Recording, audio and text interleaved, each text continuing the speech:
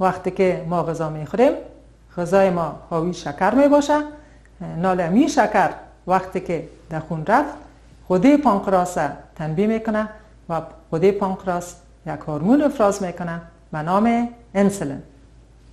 شاید سوالی باشه که شکر و انسولین و شکل نرمال چطور با هم کار می‌کنن در اینجا اگر شما این فکر کنین که این حجره را فکر کنین که یک خانه است. و یا فکر کنین که دروازه خانه انال انسولین مثل یک کلید است. می دروازه را باز می‌کنه و شکر داخل حجره داخل می‌کنه. مثل که اینجا نشان دادیم. این دروازه خانه و یا انسولین شکر داخل حجره می‌کنه. تاثیر انسولین وقت شروع میشه که انسولین نمی آخذه که یک گلیکو پروتین جدار حجره است در حجرات تارگت در اونجا نصب میشه.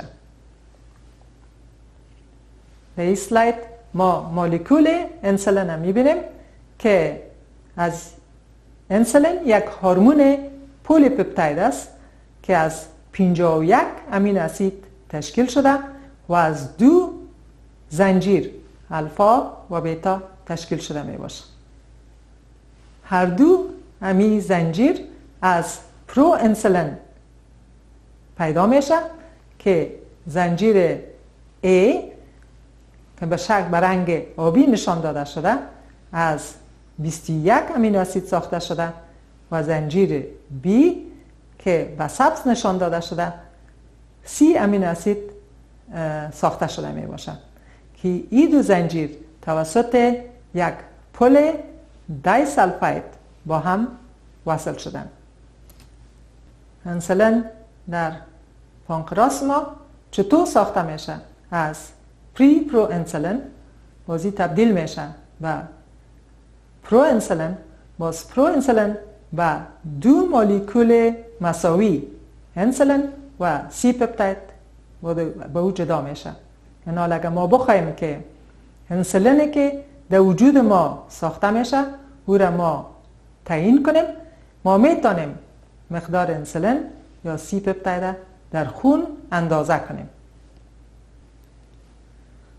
منشأ شکر در وجود ما چی است؟ سه منشأ داره. یکی از جذب مواد غذایی در امعا. دوم glycogenolysis یعنی تجزیه گلیکوژن که گلیکوژن ذخیره شکر در جگر و عضلات سکلیتی ما می باشند و منشأ سیوم gluconeogenesis یعنی تولید گلوکوز جدید یا نو از چی؟ از پیش قدم های متابولیزم چربی، پروتین ها و کربوهیدرات ها و این رقم انسولین در تمام انساج تاثیر می‌کنه مخصوصا به جگر عضلات اسکلیتی و نسج شهمی و جذب شکر و امین اسید زیاد می سازن اگر انسولین موجود نباشه در بسیاری انساج شکر و امین اسید جذب نمیشه و غیر از یک عضو که عبارت از دماغ است. بیاین که تاثیرات انسولین خلاصه کنیم. تولید گلیکوژن تنبیه می‌کنه. نمیمانه که گلیکوژن تجزیه شود نمیمانه که گلوکوز نو تولید شود و تجزیه چربی ها را نمی‌کنه و این رقم تولید چربی ها را تنبیه می‌کنه. از چی؟ از فری فری اسید و تریگلیسراید در کجا؟ در نسج شهمی. تولید پروتین ها را رونق میده. از کجا؟ از امین اسید ها.